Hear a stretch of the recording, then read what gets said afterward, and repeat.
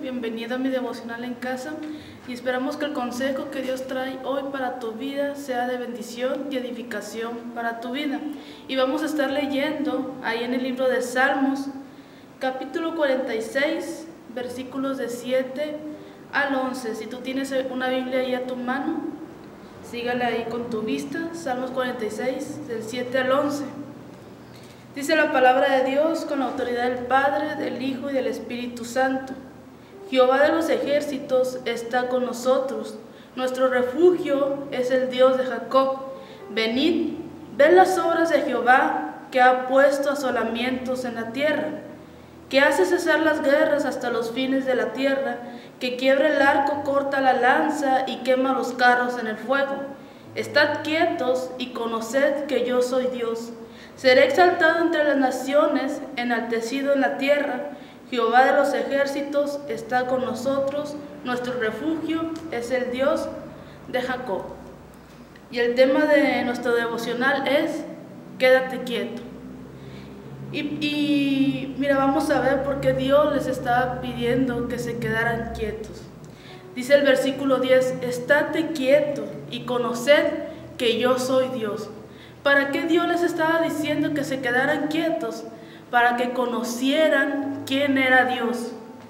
Dice, en este capítulo hay dos, contiene un mandato y contiene una promesa. ¿Cuál es el mandato que contiene el, el versículo 10?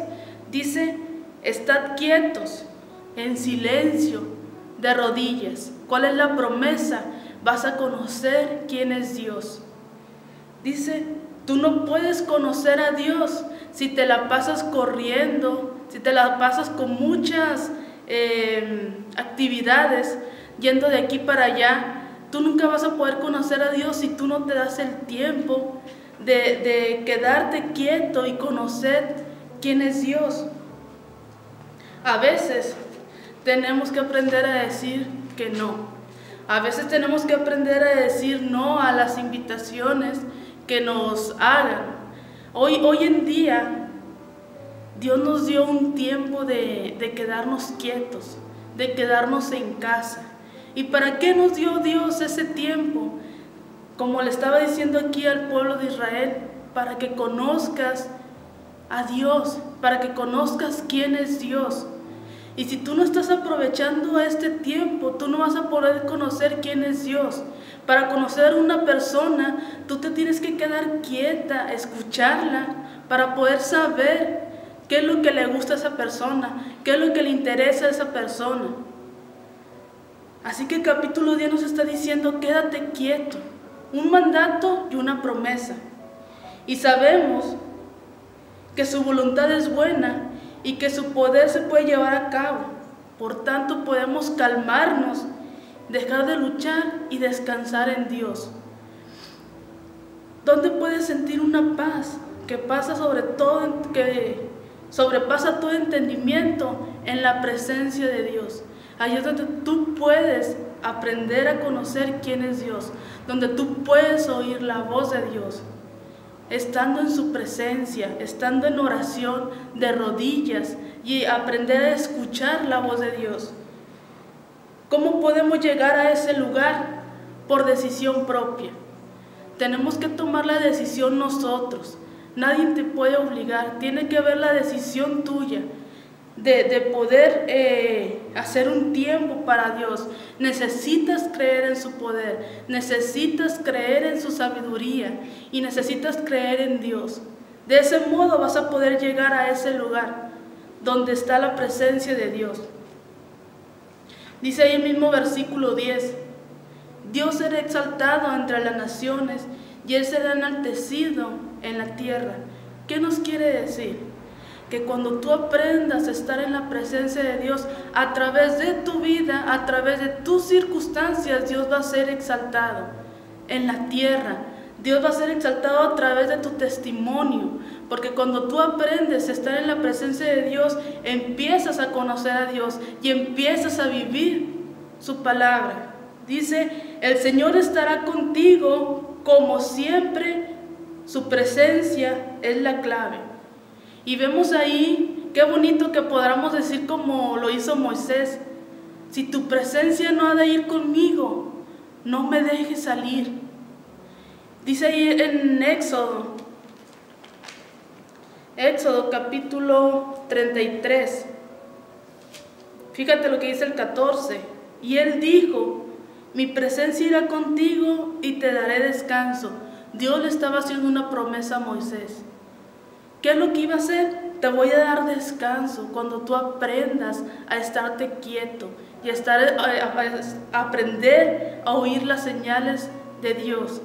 Y lo que dice el versículo 15, y Moisés respondió, si tu presencia no ha de ir conmigo, no nos saques de aquí.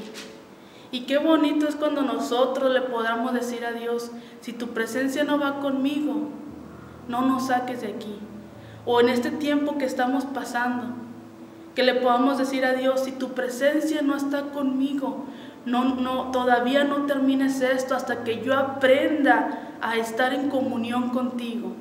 Dios nos, nos quitó todo, nos quitó todas las rutinas que nos mantenían ocupados para que tú aprendas a estar en su presencia. Dice, si realmente creemos eso, realmente nos penetra en el corazón y si vivimos en aquel lugar conociendo y viviendo la presencia de Dios, vas a tener paz verdadera. Hoy en día la gente está pidiendo paz, pero solamente aquellos que conocen a Dios, aquellos que saben estar en la presencia de Dios, son los que tienen paz en medio de las tormentas. Dice, podemos respirar hondo, quedarnos quietos y reconocer que Él es Dios. sigue diciendo, quedarte quieto te da el privilegio de conocer quién es Dios. Él puede llevar tus cargas, Él puede llevar tus sufrimientos, Él puede convertirse en tus muletas y Él puede lidiar con cualquier cosa que pase en tu vida. Y este tiempo Él nos está dando para que aprendamos a conocerlo, a conocer ese Dios verdadero, ese Dios que nos habla su palabra, aquel que dice, yo voy a estar contigo, no te voy a dejar, no te voy a desamparar, así como se lo dijo a Josué. Esfuérzate y sé valiente, no temas ni desmayes, porque yo voy a estar contigo. Pero eran hombres que estaban en, comunión con Dios, que les gustaba eh, meterse en intimidad con Dios, en la presencia de Dios. Cuando tú te quedas quieto vas a aprender a reconocer quién es Él. A lo mejor necesitas checar tu agenda y necesitas hacer un tiempo para Dios. Porque a lo mejor tu agenda está llena de tantas cosas y estás dejando a Dios de un lado. Y te preguntas, ¿por qué me está pasando esto? ¿Por qué? Porque dejaste de darle el tiempo a Dios. Dice, ¿por qué no pones a Dios en tu agenda? ¿Por qué no agregas ahí en tu agenda un tiempo para Dios? Uno de los grandes regalos que le puedes ofrecer a Dios es tu quietud. Aquí se los, se los estaba diciendo en el Salmo 46, 10. Quédense quietos para, para que reconozcan quién es Dios. Así que quédate quieto y reconoce quién es Dios. Esa es la palabra, el consejo que traigo hoy, que Dios trae hoy para tu vida. ¿Quieres empezar a conocer a Dios? Quédate quieto. Entra en, oración con Él, entra a su presencia y empieza a escuchar quién es Dios. Dios te bendiga. Si quieres seguir escuchando más predicaciones y devocionales, te invitamos a que te suscribas a nuestras redes sociales.